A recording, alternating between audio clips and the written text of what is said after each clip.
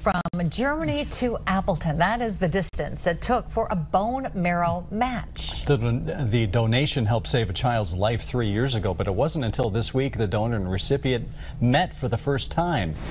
New at 5, Nolan Blair shows us the strong connection the two share. 18 year old Jordan Vanstrom has been on a journey filled with ups and downs. He's had a cancerous brain tumor and leukemia.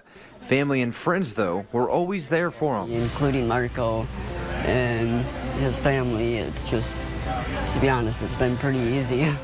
That's Marco Brodkar from Germany.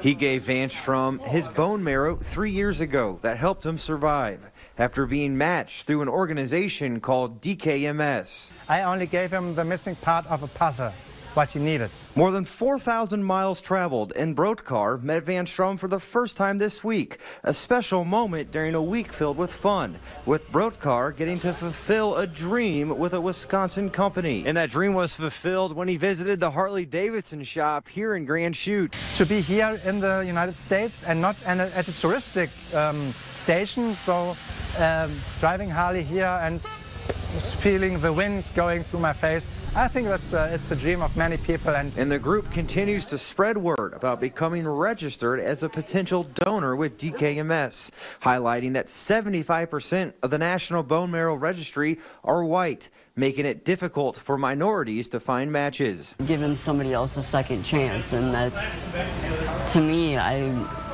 I can't see much that's a lot better than giving somebody life. Vanstrom hopes to turn his experience into a career in medicine. In Grand Chute, Nolan Blair, Action 2 News.